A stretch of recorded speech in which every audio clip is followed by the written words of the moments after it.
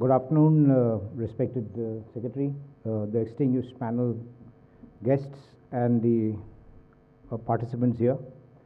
It's a pleasure uh, for me to be present here and be an integral part of this uh, initiative which India has launched. I would just like to tell you that we address a part of Mumbai, which is the suburban Mumbai, which is which ranges about 400 square kilometers, and uh, we serve about 3 million consumers on our network. And the biggest challenge is that uh, about over one third of them uh, stay in the slums.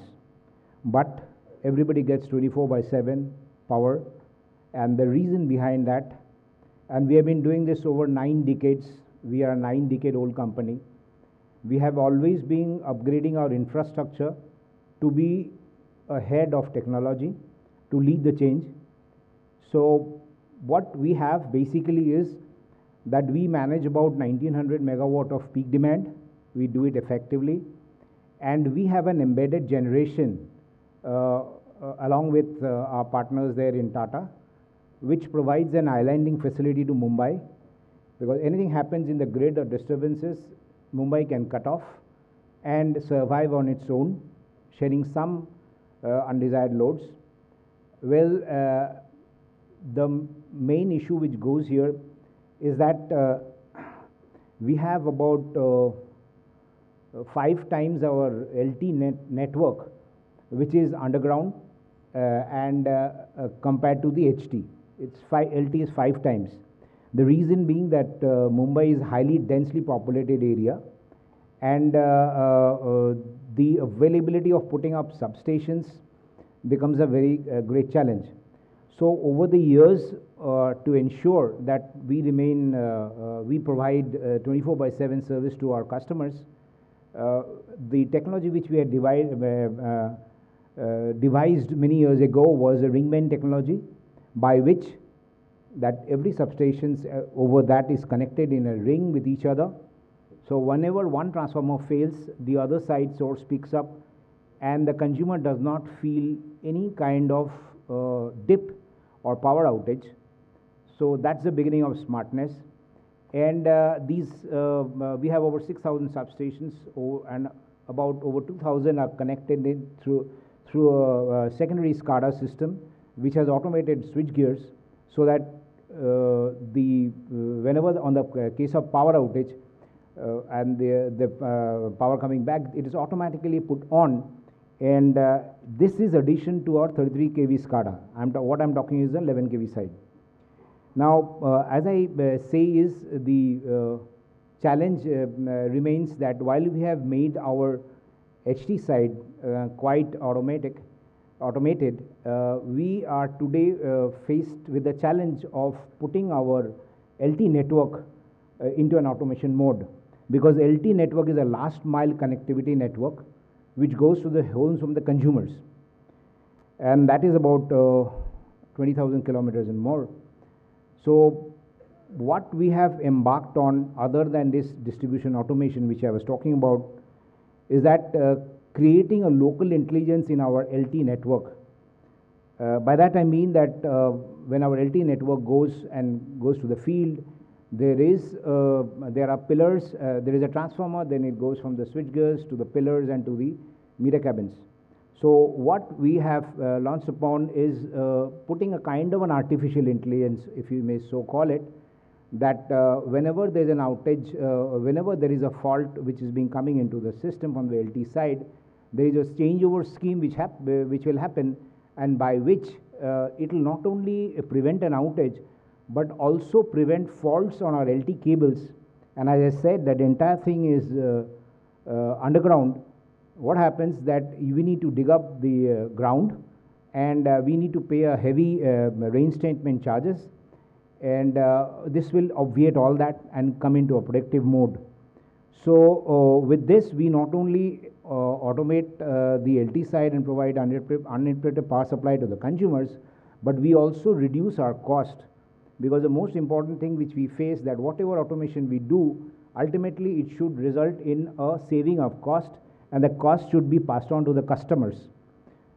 So, this is one of the things which we are doing. And in terms of making our substations, that is 11 by 440 kV substations IoT compliant, we have already made 100 of such substations where we are put, uh, we have put sensors uh, for monitoring the health of the uh, transformer. Uh, and we have uh, an FPI which we have made commun- communicable. We have done 100 of that. And by this, this substations becomes an IoT compliant substations, which ultimately wants us uh, through a, uh local SCADA that uh, this uh, transformer or this network is not healthy. It's going to face an outage. It's having a problem. The various temperature sensors are sending sense uh, signals. So we need to do some predictive analysis, uh, and we need to do some predictive maintenance because uh, over the development which has come up over these 90 years, uh, uh, from uh, preventive maintenance to prescriptive maintenance, now is the age of predict- predictive maintenance. So what we believe is that whatever we talk on smartness, on building intelligence into the system, we do it actually in our place. Now going forward to the uh, one side is the network side, the other is the meter side. So what we have, we have executed a project, uh, a trial project uh, of building a canopy uh, network through our gateways and nodes.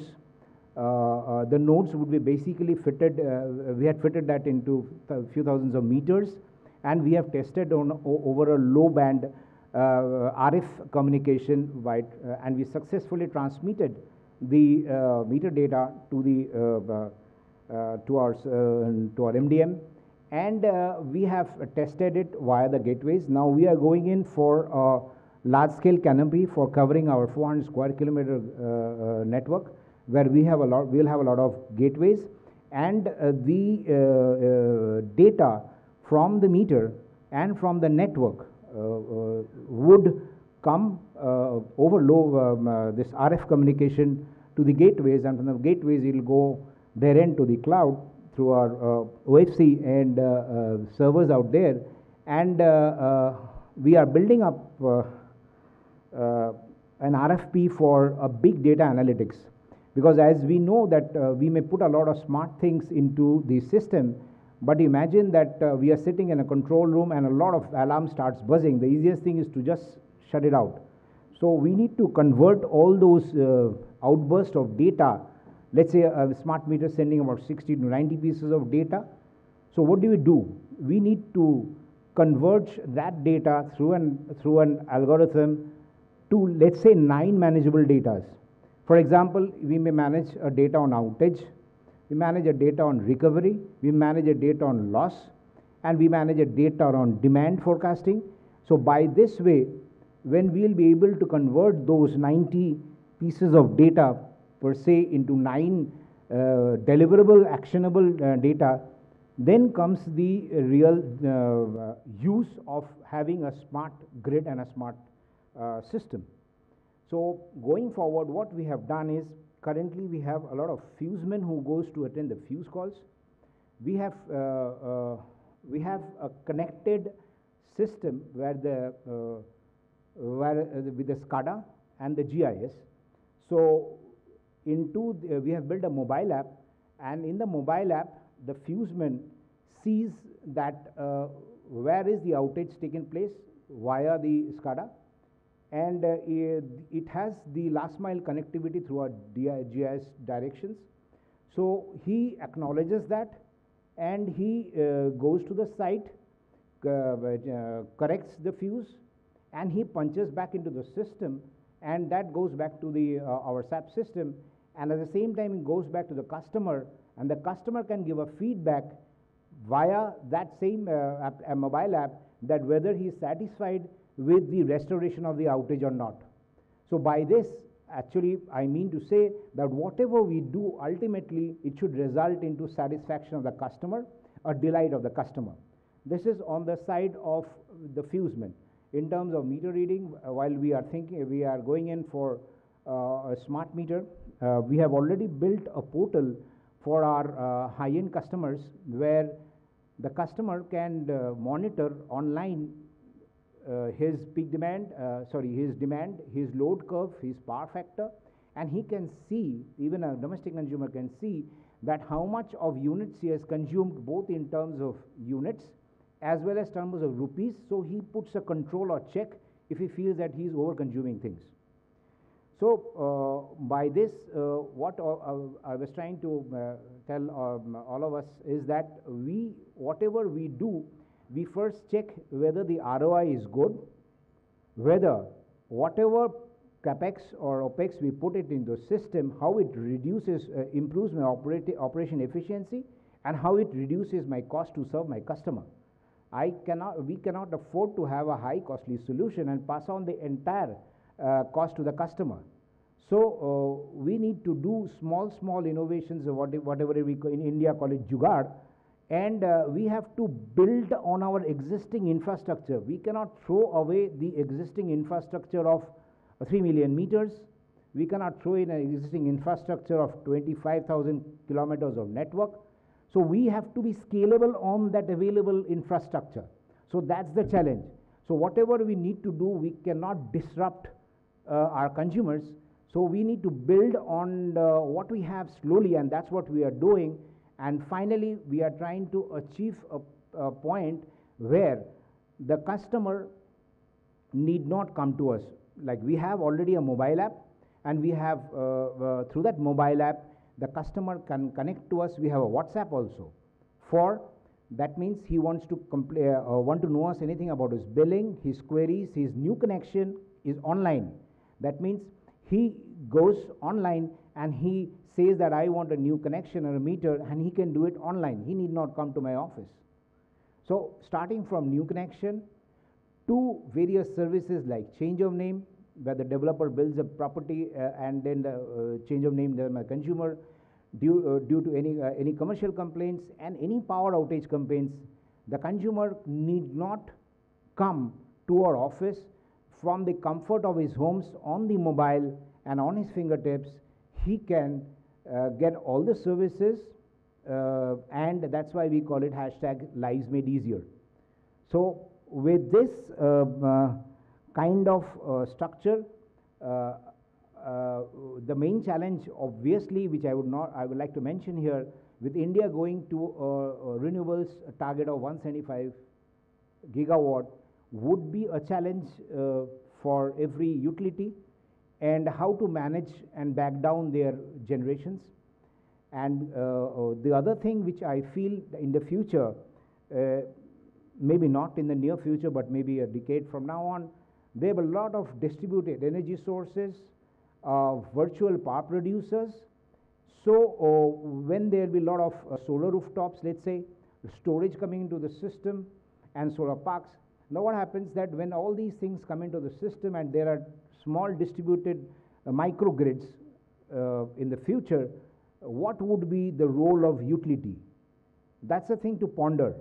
Now, how will the utility reshape itself and still maintain their charges and get back uh, their uh, uh, costs?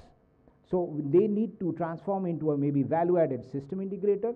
So, that would be a challenge, maybe not now, but we need to think how to address that.